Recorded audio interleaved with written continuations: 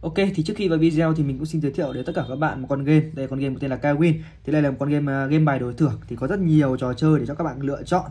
Đến rất nhiều trò chơi ví dụ như là game hot thì chúng ta có rất nhiều các trò chơi mà nó uh, game gần như là game bài nào cũng có. Hay là những trò chơi ví dụ là riêng về bài như là ba cây hay là uh, liêng hay là các thứ này long hổ này sóc đĩa này thế lên miền nam này. Đấy thì các bạn có thể vào chơi hay là có những game bàn về bắn cá này hay là có những game về nổ hũ thì chúng ta cũng có đều có. Ngoài ra thì về à, đổi thưởng thì trong chúng ta có thể đổi thưởng bằng uh, liên kết bằng nhiều tài khoản ngân hàng về chúng ta có thể rút tiền về khi chúng ta mà có thưởng. Tiếp theo là chúng ta có những cái sự kiện uh, ví dụ như là tới đây là chúng ta có sự kiện về tết nguyên tiêu này. Đấy thì các bạn có thể lên đây để uh, xem cũng như là chơi. Uh, tức uh, nếu mà các bạn muốn tìm hiểu rõ hơn thì có thể là kawi68.com đó thì uh, nhiều sự kiện. Ngoài ra thì nó cũng có rất nhiều các uh, thử thách cũng như là nhiều các uh, gọi là nhiều các um, tính năng để các bạn có thể là chơi ở game này. Nhiều sự kiện uh, mới lạ báo danh này chia sẻ này uh, gấp cốt này. Đấy ngoài ra nạp tiền nạp tiền thì cũng uh, rất là dễ dàng khi chúng ta có thể nạp bằng nhiều thứ khác nhau như thẻ cào này momo pay zalo pay là viettel pay là qr banking hay là ibanking đó. Thì um, đính tải thì mình đã sẽ để phía dưới phần mà mô tả thì các bạn có thể bấm vào đó để các bạn có thể tải về rất nhiều game có thể là các bạn chưa chơi bao giờ, ví dụ là game thủy hử này, hay là Avenger này. Đấy, thì các bạn có thể tải về và trải nghiệm nhé thì link tải mình sẽ để dưới phần mô tả, các bạn click vào đó và tải về. Thì ok, bây giờ chúng ta sẽ bắt đầu video ngày hôm nay thôi.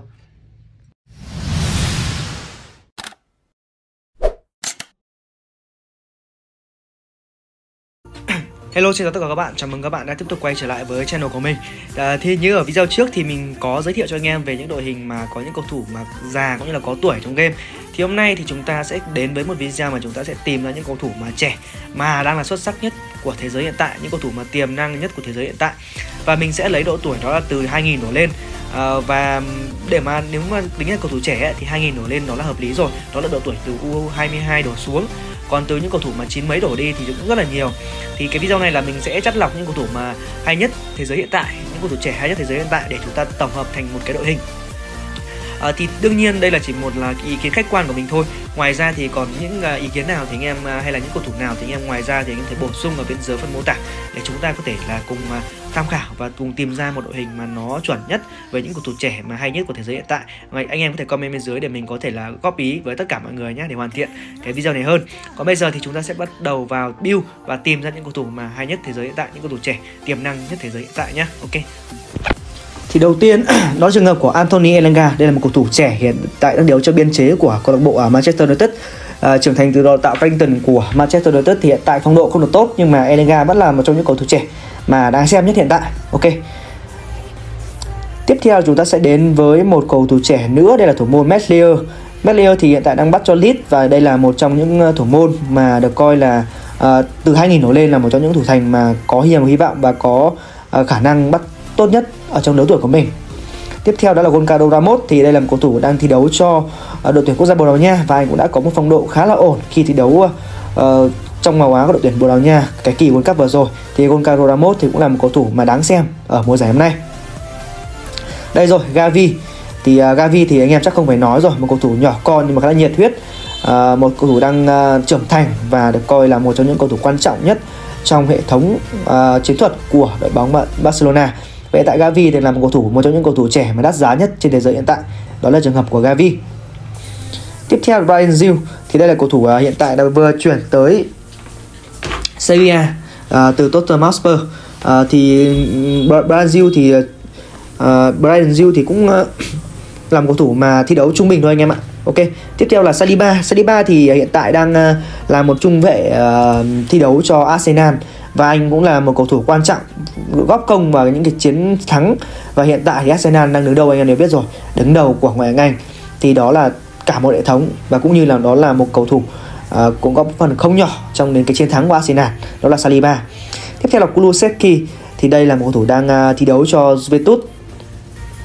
Ấy một tiền đạo khá là trẻ uh, người Thụy Điển và được coi là người sẽ thay thế và gánh vác hàng công của đội tuyển Thụy Điển sau uh, Ibrahimovic đó đây là trường hợp của Kulusevski hiện tại đang thi đấu cho Juventus anh em ạ và đây là Botman thì uh, cầu thủ này hiện tại uh, là một cầu thủ người Hà Lan thì uh, bởi vì là đây là một cầu thủ mà có phong độ cũng khá tốt nhưng mà cái hàng phòng ngự Hà Lan thì rất là dày anh em đều biết rồi nên đã không được chịu tập tới World Cup và đây là Xavi Simon thì đây là cầu thủ trưởng thành từ đào tạo uh, của Barcelona Đấy, thì hiện tại thì anh đang thi đấu cho PSG và hiện tại thì không nhầm là đã chuyển tới PSV Eindhoven rồi anh em ạ. Xavi Simon. Đây rồi, Enzo Fernandez cầu thủ 120 triệu bảng vừa tới Chelsea trong cái ngày hôm nay. Enzo Fernandez sẽ là cầu thủ mà để xem anh sẽ chứng minh được được gì ở câu lạc bộ mới đó là Chelsea. Enzo Fernandez. Tiếp theo là Fofana, trung vệ người Pháp. Đó, trung vệ ờ, Fofana thì uh, sinh năm 2000 anh em ạ nên là mình uh, để để để đội hình từ 2000 đổ lên đấy thì nó sẽ đủ vị trí hơn và đây đó là Jude Bellingham một trong những cầu thủ đắt giá nhất thế giới. Và cái khả năng cũng như là cái phong độ của Bellingham cũng đã chứng minh được qua một đến hai mùa giải năm nay rồi. Thì không biết là trong đội trong mùa giải mới cũng như là trong những cái trận đấu tiếp theo à, trong mùa chuyển nhượng tiếp theo thì Bellingham sẽ đi đâu? Còn hiện tại thì anh vẫn đang ở Dortmund anh em ạ. Đây là Fabio Carvalho thì đây là cầu thủ hiện tại đang thi đấu cho Liverpool. Tiếp theo là một cầu thủ trẻ người Anh nữa Fabio Carvalho cầu thủ sẽ tăng vị trí ờ, thi đấu ở vị trí tiền vệ tấn công nha em ạ đây rồi Bukayo Saka cầu thủ người sinh năm 2001 đang thi đấu rất là chững chạc trong cả màu áo đội tuyển Anh cũng như là làm một phần nói chung là không thể thay thế trong sơ đồ chiến thuật của huấn luyện viên Arteta trong uh, sơ đồ chiến thuật của Arsenal anh em ạ. Saka một cầu thủ không thể thay thế. Tiếp theo là Chouameni đây được coi là người sẽ thay thế Casemiro trong cái đội hình trong cái binh quay cây đinh ba của Real Madrid trong thời gian tiếp theo. Anthony, chăm củ Anthony mua về chỉ để xem Campa nhưng mà hiện tại thì à, để. Thời gian sẽ chứng minh xem Anthony có thể làm được gì trong màu áo câu lạc bộ uh, Manchester United. Anthony chỉ số 78. Vlahovic thì à, đây là một cầu thủ à, nói chung là chắc là bị chọn sai nền văn minh rồi. Thì anh chọn uh, Juventus là bến đỗ của mình. Nhưng mà Juventus hiện tại thì anh em đều biết rồi. Phong độ xa sút lại còn bị trừ 15 điểm nữa. Nên là Vlahovic Vlahovic sẽ chuyển mình nghĩ là sẽ phải chuyển đến một câu lạc bộ khác. Tiếp theo Erling Haaland. Với lứa tuổi 2000 này thì chúng ta chúng ta sẽ không thể không nhắc đến đó là Erling Haaland rồi. Anh em đều biết đây là một cỗ máy cũng như là, là coi là một cái súng ghi bàn sòn sòn luôn. Đấy trường hợp của Haaland thì mình sẽ chắc chắn sẽ không phải nói nhiều nữa. Nuno Mendes thì như vậy chúng ta đã có thêm một hậu vệ ở vị trí cánh trái. À, Nuno Mendes hiện tại thì đang uh, Ờ, thi đấu ở vị trí ờ, hậu vệ cánh trái và như vậy chúng ta sẽ có vị trí ở vị hậu vệ cánh trái rồi. Ok đủ vị trí luôn anh em ạ. Và đây thì chúng ta sẽ cùng Ekitike à, Ekitike hiện tại đang thi đấu cho PSG thì uh, anh cũng là một cầu thủ trẻ cũng đáng xem của à, uh, PSG Rodrigo người được coi là chuyên nhân của Ronaldo béo Ronaldo da Lima anh em ạ với những bước chạy cũng như là cái phong độ hiện tại thì Rodrigo chắc chắn sẽ tiến xa hơn trong thời gian tiếp theo Sancho Sancho vừa bình, bình phục lại chấn thương thì rất là mong sau thời gian vừa rồi thì à, Sancho sẽ cố gắng để thể hiện mình trong máu Manchester United để xứng đáng với cái số tiền mà uh, câu lạc bộ đã bỏ ra và cái niềm tin mà người mộ đã dành cho ra đình Sancho anh em ạ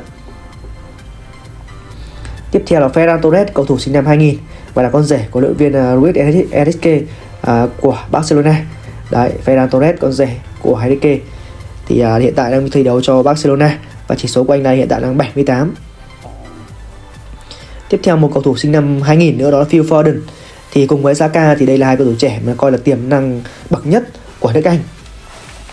Foden thì hiện tại phong độ đang không được tốt. Nhưng mà xét tổng thể thì Foden vẫn là một cầu thủ mà chúng ta uh, sẽ tiến xa hơn trong cái thời gian tiếp theo của mùa giải cũng như là những thời gian tiếp theo đây là Tonali cầu thủ đang thuộc biên chế của AS Milan. Đây được ờ, cũng được coi là người sẽ thay thế Pirlo và sẽ là người nhạc trưởng mới của Ý cũng như là AS Milan anh em ạ. Đó là trường hợp của Tonali. Đây là ờ, Vadion thì hiện tại đây là một cầu thủ trẻ à, nổi bật lên từ mùa World Cup à, vừa rồi. Thì Vadion hiện tại thì đang được săn đón bởi rất nhiều các câu lạc bộ khác nhau trên thế giới. Đó thì đây là trường hợp của trung vệ Vadion uh, Smith Rowe Amy, uh, à, Amy Smith Rowe thì uh, uh, cũng là một cầu thủ um, trẻ cũng khá là tiềm năng. Nhưng mà để so với Foden và Saka thì vẫn chưa thể bằng được anh em ạ.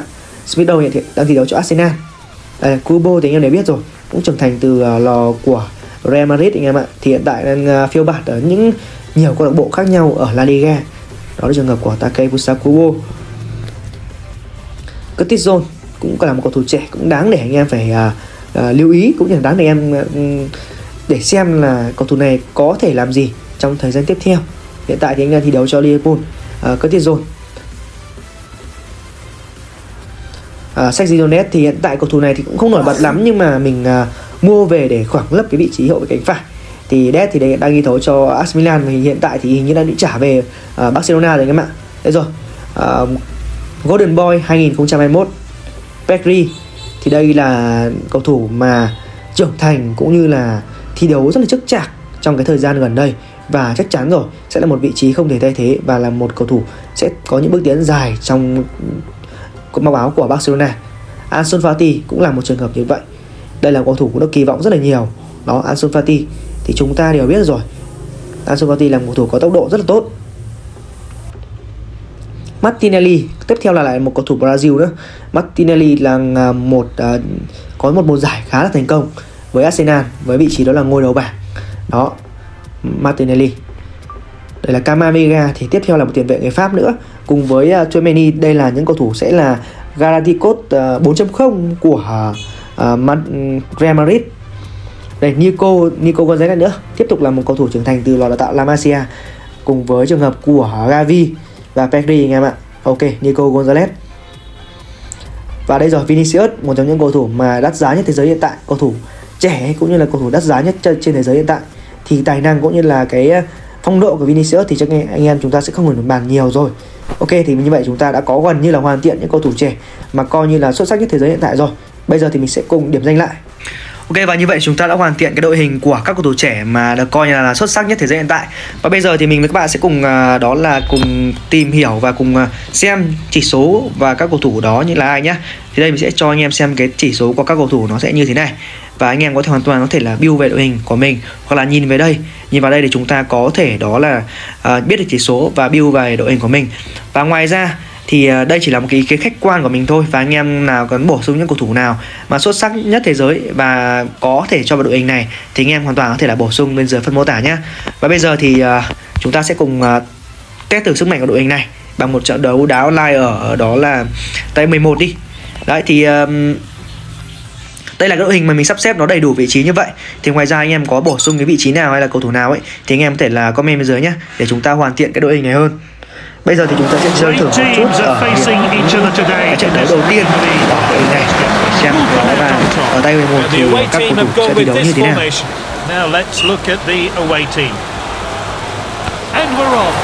Chắc chắn trong thời gian gần đây thì uh, tới đây thì những cầu thủ ví dụ như là Enzo Fernandez hay là uh, Bukayo Saka này hay là các cầu thủ mà chỉ số xanh ấy hay là Guardiol ấy thì chắc chắn sẽ được uh, chú ý nó sẽ được tăng chỉ số thôi.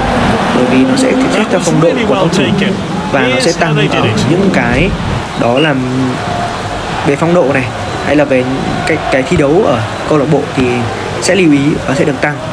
Và trường hợp được tăng nhiều nhất thì em thể chỉ kể đến kể đến như là trường hợp của uh, Foden hay là Saka chúng ta đều biết rồi. Chỉ một mùa giải lên thôi mà kỳ số đã lên rất là cao rồi. đấy thì uh, các cầu thủ này cũng như vậy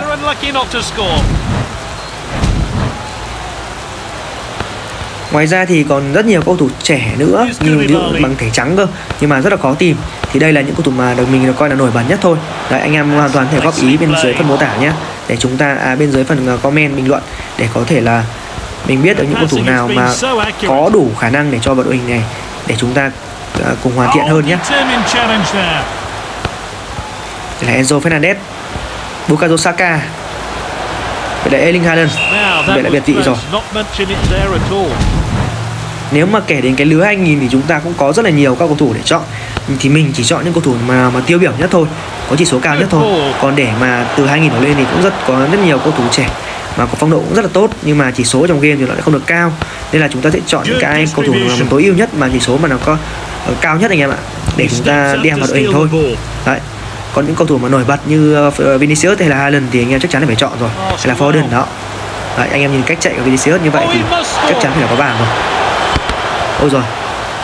Và dứt điểm của Haaland thì lại hơi nhẹ. Để Enzo Fernandez. Dứt điểm cũng hơi hiền của Enzo Fernandez thì nhìn phát dứt điểm bằng chân trái rồi chân công thuận rồi. Ok thì như vậy là đội bạn đã out và đến đây thì à, video mình cũng sẽ kết thúc nhá. Anh em thấy video mình hay thì like đăng ký và ủng hộ mình. Ok chúc anh em có một buổi tối vui vẻ. Bye bye